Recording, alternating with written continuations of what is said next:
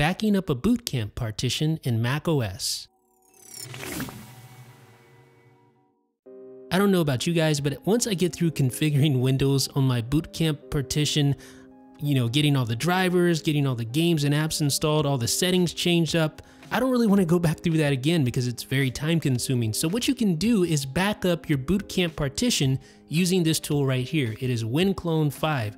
This is a paid tool. The basic version costs $19.99 and it allows you to easily back up your bootcamp partition with pretty much minimal effort. Now, depending on how you plan on using this tool, there are some things you have to keep in mind. For instance, migrating from an older MacBook to the new 2016 MacBook Pro or the 2015 MacBook with the USB-C port can present some challenges. So just make sure you read up on the important tech bulletins to make sure everything will work fine for your particular use case. Now, once you have Winclone installed, I like I said, I use the basic version. You just launch the app you click where it says clone bootcamp partition, you click save image, it's gonna give you some details on things you need to keep in mind, uh, such as running check disk on Windows to check for errors. If that's all good, just click save and then type in the name of the image.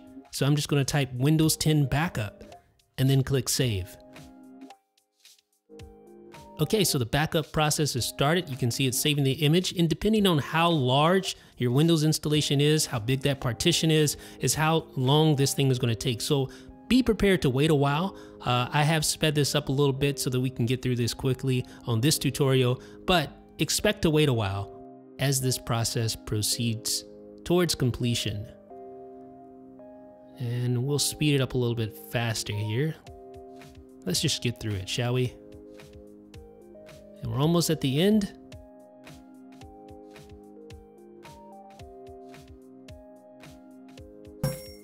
Okay, so the image is now completed. So we can just click OK. Like that.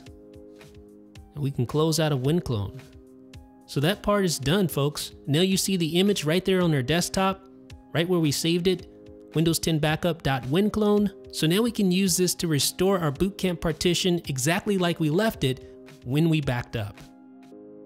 So let's say that you're starting from scratch and you want to restore your backed up image that you made with Winclone. We just want to go in and open up Bootcamp Assistant. We're going to click continue and we're going to set the partition size to at least the same size of the backup. So you want it to be at least the same size of the backup or more. We're going to use the Windows 10 ISO file. We're going to click install and it's going to go through the bootcamp installation, downloading Windows support software, etc, etc.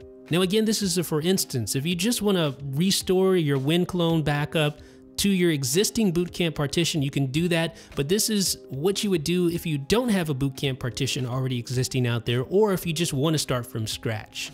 All right, so we're gonna put in our password. And if you want more details on Bootcamp in general, make sure you watch our full video. Uh, we'll show you how to use that to install Windows 10. So I put in my password here, I'm gonna click OK. We're going to reboot. But as we reboot, we wanna hold down the Option key because we don't wanna boot into Windows. We actually wanna boot back into Mac OS. So we're gonna select Macintosh HD. And once we boot back into Mac OS, we're gonna restore the Winclone Bootcamp backup image. So the first thing we wanna do is go to Disk Utility, and we wanna make sure that the bootcamp partition is there, but we also wanna make sure that the OS 10 reserved partition like this is not there. If it is there, you wanna just right click and select unmount to unmount the OS 10 reserved. Otherwise, Winclone will not be able to proceed because it says, hey, there are two bootcamp partitions out there, please remove one before we proceed. So now that we have verified that everything is good with our partition, we want to open up Winclone Basic again. And now this time we're going to click on Restore Image and then click Restore Image below and then select our Windows 10 backup Winclone image that we created earlier.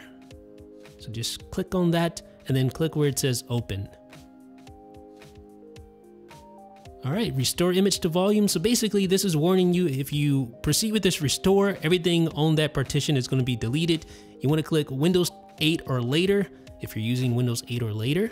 Then the restore will commence. So basically you are placing the contents of that image back onto the bootcamp partition. So that means that all of your settings, all of your drivers, all of your installations, all of your apps and games are going to be there waiting for you after you restore which is great because that saves you a lot of time. The Windows installation process can be a little tedious, going through all the settings, getting all your drivers downloaded, getting all your apps and games downloaded, but now it's gonna be super easy thanks to Winclone.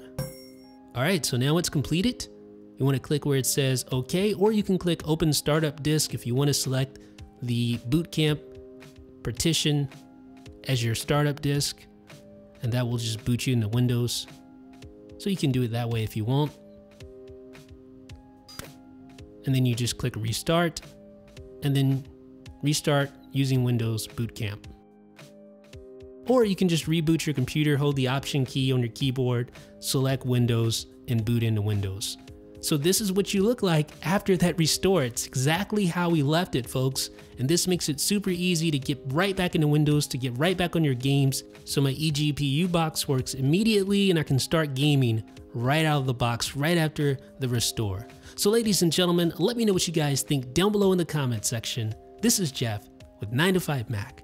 Be sure to subscribe if you want more daily video content and also check out these other videos that you might enjoy.